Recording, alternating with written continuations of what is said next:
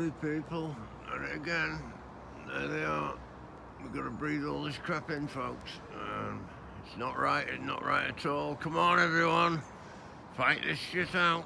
You know, we've got to fight it. Fight it with all your Buddha wisdoms you can, whatever it is, whatever perspective you come from. This is not acceptable. Not in any way, shape or form acceptable to anyone, alright? And I nearly swallowed my cigarette. Thank you. Peace out. Peace.